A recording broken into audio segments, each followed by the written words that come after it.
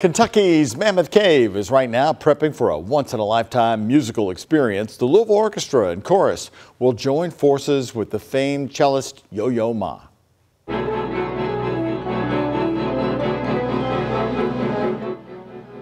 The musical experience is part of a larger body of work as Yo-Yo Ma honors national parks across the country.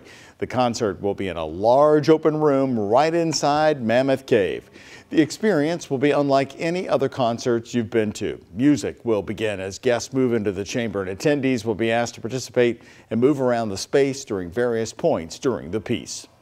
This is truly thrilling. I mean, potentially the craziest thing I've ever done in my life, and, and, and I've done quite a few weird ones, um, but also kind of, for me, one of the more meaningful ones. Um, it's just so special to be working, uh, you know, in collaboration with a national park, with a space that is so culturally and historically significant, and to put performance in it that deals with the space itself and deals with the stories that have come out of and have lived on top of this space for so long.